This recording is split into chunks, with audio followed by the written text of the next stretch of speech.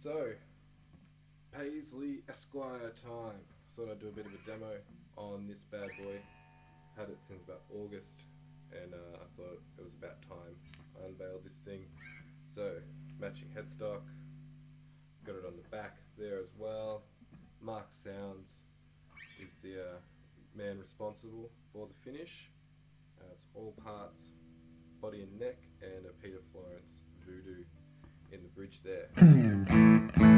So it's got quite just a bridge. Mm. Does a beautiful country rhythm section kind of thing.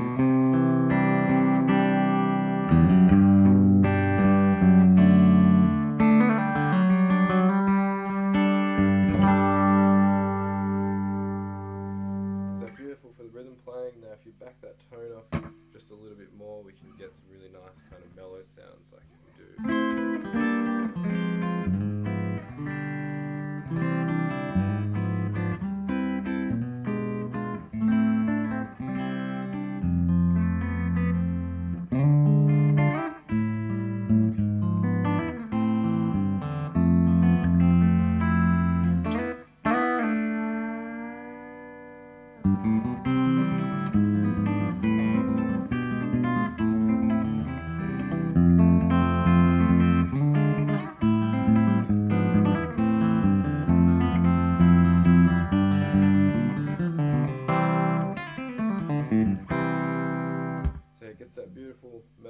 country vibe going, and they're almost a little bit jazzy, but you know, not quite.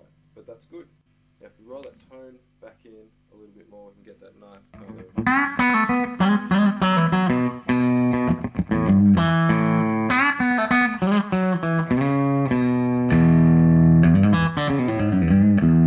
That kind of Paisley thing, get that really rip snorting country thing going on there.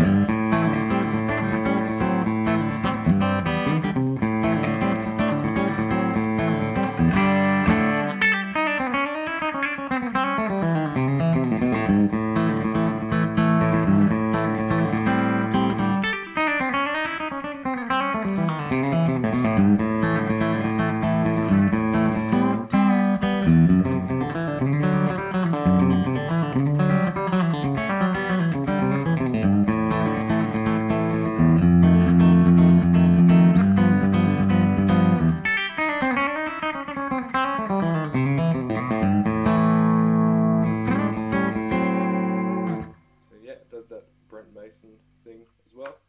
So there it is, Mark Sounds. Check it out. It's not a lot of videos on there, hence this one, but hopefully uh, more people will check him out. Um, for those interested, it's a Blues Junior, uh, Keeley four knob compressor, and then an MI Audio Blues overdrive, just giving me that tiny little bit. Beautiful. Thank you.